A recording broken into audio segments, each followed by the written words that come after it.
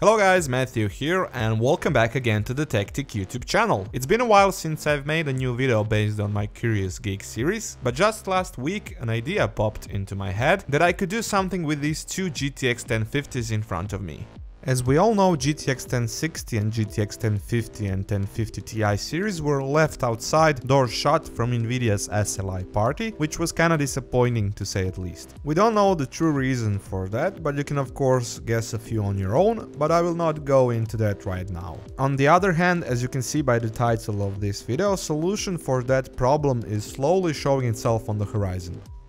So, you're probably wondering how am I planning to do an SLI configuration with two same models of graphics cards which do not support it. As some of you may know, the answer to that is Microsoft's DirectX 12 API. Instead of using traditional SLI or Crossfire links, DirectX 12 has something what is called heterogeneous explicit multi-GPU support, which basically eliminates their need. What this in translation means is that game developers now have tools which enables them to simultaneously utilize different GPUs GPUs in the same system without depending on having a GPU of same brand, model or even VRAM size with substantially less overhead and without any need of them using the so to speak official multi-GPU linking technologies like SLI and Crossfire. With this kind of transformation technologies like the aforementioned SLI and Crossfire could in theory become a thing of the past which should free up a portion of Nvidia's and AMD's developing departments so they could maybe transfer their resources to somewhere else. For example in helping developers optimize their games for this purpose as that kind of developing can be rather difficult and challenging on game developers end.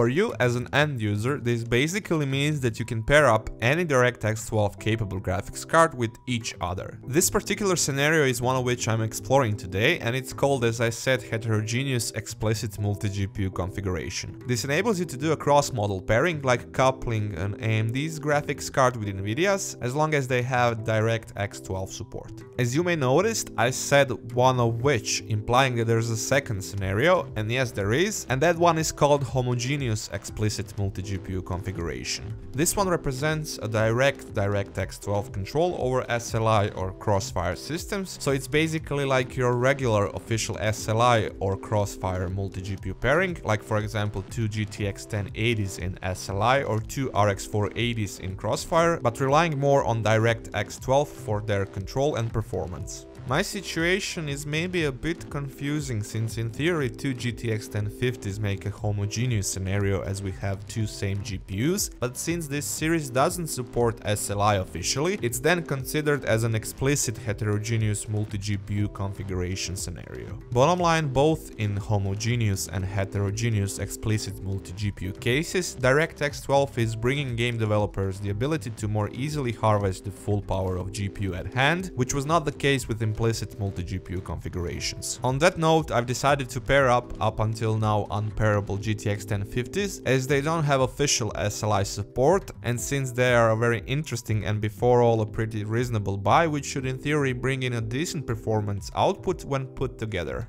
Installation is simple, just put a second graphics card onto your motherboard and that's it. No SLI bridges, no nothing. You don't even have to have an SLI certified motherboard. As long as it fits the PCI Express slot, you are good to go. Of course, check if the driver installation went smooth. You don't even need to reinstall them if you already have your first NVIDIA GPU and drivers installed before putting the second one. Just restart your PC after booting for the first time, let the drivers do their thing and check if the GPU Z and device manager is registering the second GPU. All of this worked for me. If you want to be 100% sure, I advise you to make a clean install of the drivers. Lastly, let's not forget about having Microsoft 10 operating system as it supports DirectX 12, but I think we are all already familiar with that requirement. Of course, all of this wouldn't work if we didn't have applications which support DirectX 12 multi-GPU pairing, and we do, but as for now, not that much. For my first, and unfortunately, as you'll see later on why, also my only game, I've used Ashes of Singularity, which was basically the first game ever on the market which supported this kind of explicit multi-GPU DirectX 12 pairing, in particular for the heterogeneous scenario, and in one hand as a tech demo of the DirectX 12 API. As you can see by looking at the results, the performance bump in comparison to a single solution is all over the place. For the 1080p results using high settings preset, you'll see about 30% performance increase, while jumping to 16x9 1440p, it goes up to about 45%. So far so good, although still not financially viable and not making sense in the form of a real purchase of a second GTX 1050 so you can pair it up, but it's interesting to see performance gains based on something that wasn't marketed as such, so to speak. On the other hand, I've also experienced few anomalies, like for example going up to 21 by 9 1344 times 1440 resolution, where results turned in favor of a single card solution as you can see it here. While using lower details and less complex textures, I saw performance gains dropping to around 10% throughout the first two resolutions, which was odd to say at least. GPU utilization varied from 20 to 80% depending on the scenario, but I feel like the main problem in my case was lack of video memory. Nvidia's GeForce GTX 1050s are coming in with 2GB of default VRAM amount, which is a bit low even for 1080p resolutions nowadays, and especially when it comes to DirectX 12 API. That buffer was basically topped out in all of my benchmarking scenarios, so that could also be one of the potential reasons, beside the lack of further software optimization for this particular scenario, why I saw pretty inconsistent GPU utilization and results depending on the resolution and graphics preset in terms of the multi-GPU setup.